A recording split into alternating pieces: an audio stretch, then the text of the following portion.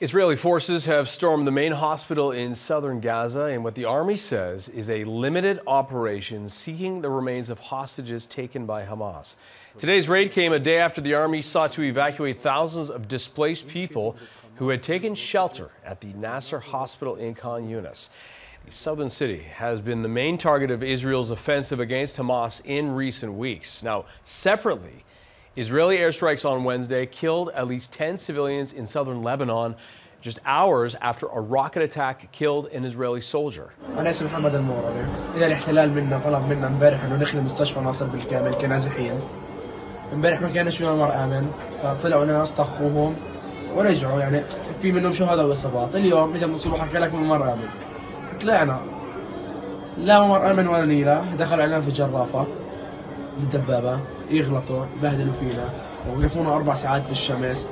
آه، ياخذوا يعني كل مثلا نص ساعة يدخلوا خمسة يدخلوا ثلاثة وياخذوا اثنين. لحظات الليل الماضي كانت كثير صعبة.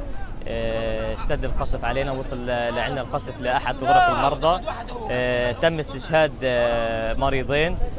شخص آه، مجهول الهوية.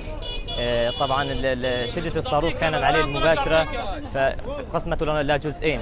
الجزء السفلي كان عندنا بالقسم والجزء السف والجزء الثاني كان خارج المبنى. في حالة تم التعرف عليها. غير هيك كان عندنا إصابات كمان. يعني هم مصابين ومع ذلك زادت الإصابات. قسم العظام تدمر بالكامل. آه، آه، المجمع بالكامل كان إرباك. آه، قبل وقت بسيط يعني وقت قليل آه، الكواد كابتر آه، تعدت علينا على يعني على غرفة المؤتمرات.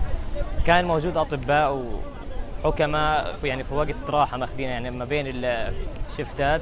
فتفاجئوا أن الكواد كابتر فاتت عليهم قامت بإطلاق نار يعني عشوائي.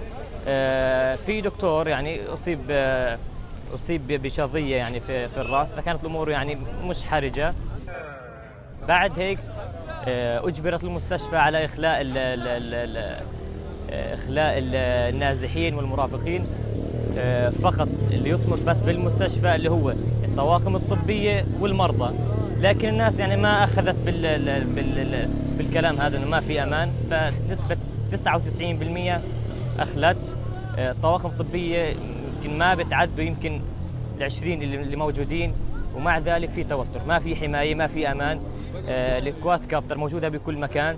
حتى الكلاب ال- ال- المتوحشة آه، اللي برقبتها مراقبة كمان موجودة بالمستشفى بالمستشفى بشكل شرس. نحن نعمل جاهدين من أجل فعلا آه، آه، وقف إطلاق النار إنساني. نعمل جاهدين من أجل منع اجتياح آه، الجيش الإسرائيلي لمدينة رفح.